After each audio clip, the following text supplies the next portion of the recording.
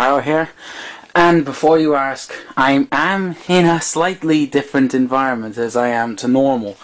Because currently I'm up in the north in um in Newcastle because I have my dad has the side of the family down here and we're currently down um and we're up even. We're currently up here visiting them, but we just went downtown today, had a bit of a walk around. I bought my uh being me, I bought my PSP with me and I got today I got two new games for it. I got Tomb Raider Legend and I got them both from Game.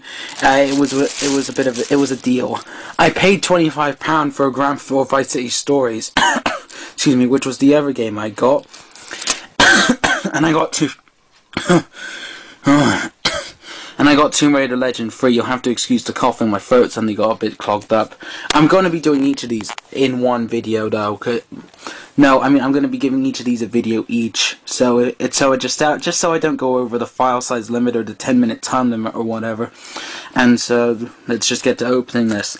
I've now noticed that there's little tags on the bottom of the games to make opening them a bit easier. If you could just get at the tag, that is. Um, Excuse me a second. Ah, gonna have to put the camera down.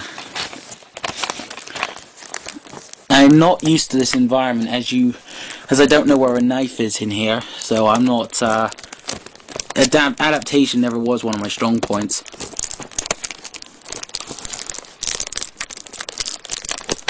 Ah, here we go.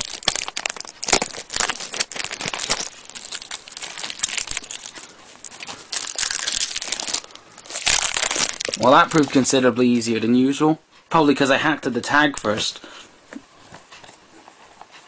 There's the back. You've probably seen it like a million times in the other versions. And I'm not going to read through the manual, I'm just going to take a quick peek. I've learned that you can't actually do that. There's the um, a little advert for Tomb Raider Anniversary, which I also plan to buy for the PSP. And I know people are saying the PSP version is terrible, it controls really bad, but I've played it, and I don't think it controls that badly for the stick. And I hate these UMDs, they don't want to come out. I had the same problem with Ratchet Clank Size Matters. Anyway, here, and I'm just going to show me starting this up for the first time. As you may have noticed, I'm rushing a lot less now as well, because I, I'm using my new 4GB memory stick, but I'm using um I'm using a Pro Duo adapter that turns it into a regular memory stick, which is pretty nice convenient.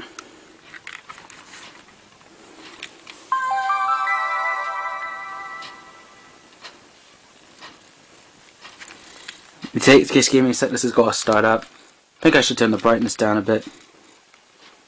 Is that easier to see?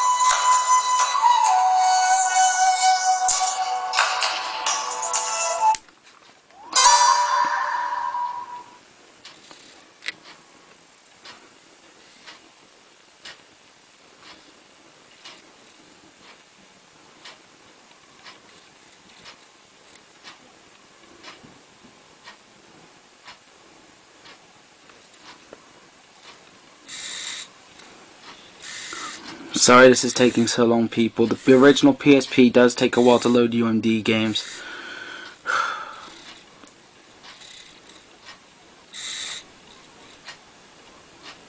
yeah, Lara Croft new Tomb Raider look copyrighted. We all know the copyright laws by now.